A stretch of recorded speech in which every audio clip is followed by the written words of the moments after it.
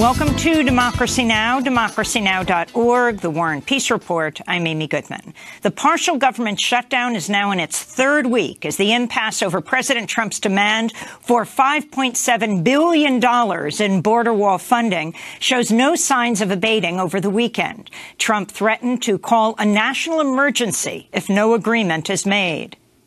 We're looking at a national emergency because we have a national emergency. Just read the papers.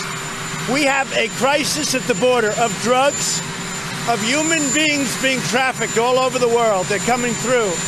And we have a, an absolute crisis and of criminals and gang members coming through.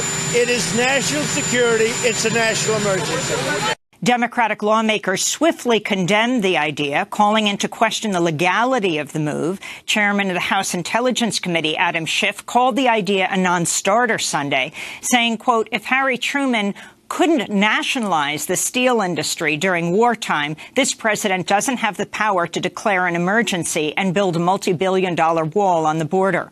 On Sunday, Trump said he'd push for the construction of a steel barrier instead of concrete, presenting the idea as a compromise for Democrats. He also repeated the idea Mexico would pay for the wall through the USMCA trade deal, which would create billions in revenue for the United States. The USCMA has yet to be ratified by Congress. Federal agencies have been ordered to suspend planned pay raises for top administration officials amidst the ongoing shutdown. The raises had been set to go into effect on Sunday after a long-standing pay freeze for senior officials lapsed.